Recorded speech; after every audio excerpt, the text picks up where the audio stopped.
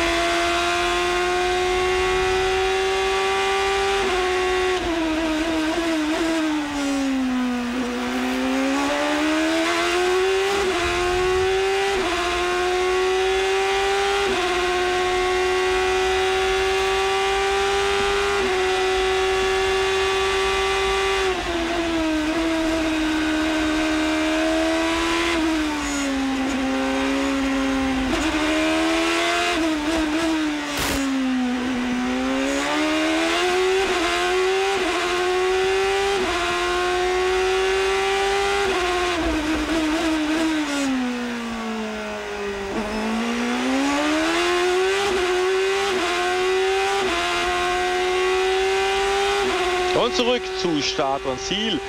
Also da muss man, glaube ich, manchmal ordentlich die Hinterbacken zusammenkneifen. Eine echte Fahrerstrecke.